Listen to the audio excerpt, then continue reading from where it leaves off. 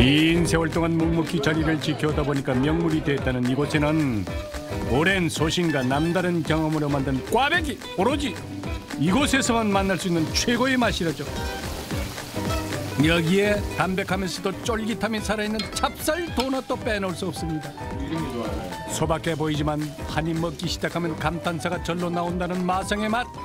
엄청 맛있어요. 어, 그 정도요? 예, 한번 먹어보세요. 이 맛이 아주 좋아요. 뭐 그 표현할 수 없어요. 장은 좋아요. 보기에는 저렇게 허름해 보여도 어, 은근히 찾아오는 손님들이 많습니다. 무시 못할 집이죠. 아마 이 동네 사람 치고 저 집 빵 먹어보지 않은 사람 없을 겁니다. 그 정도요? 그럼요. 예. 저집 빵이 이 동네 사람들 다 키워냈다니까요. 어, 그래요? 예, 그럼. 그게 사실입니까?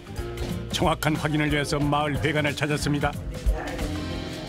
제가 좀 빵 한 번도 안 드셔보신 분 계세요? 아무가 마음 먹었어요. 우리는 사다 먹잖아. 드셔보신 분 손 한 번만 들어주세요. 네, 우리 다 먹었어.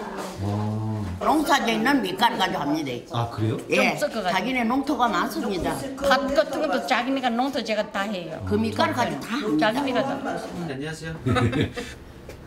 꽈배기 없어요? 값이 떨어졌어요. 벌써? 떨어졌어요. 팥 도넛이 떨어졌어요. 아, 세 개.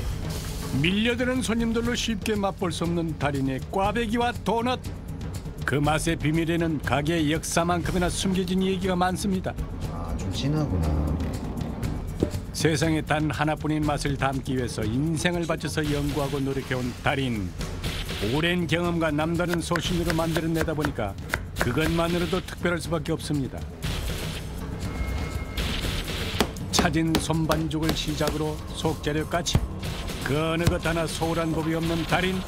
꽈배기와 도넛은 달인의 인생 그 자체입니다. 노력 없이는 아무도 될 수 없잖아요.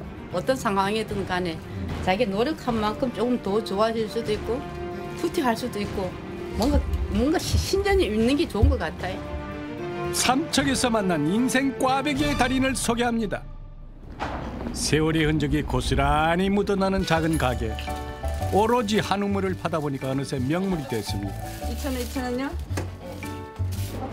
동네 주민들뿐만 아니라 멀리서 오는 손님까지 사람들 발길 잡는 매력 변하지 않는 싼 가격도 한몫입니다.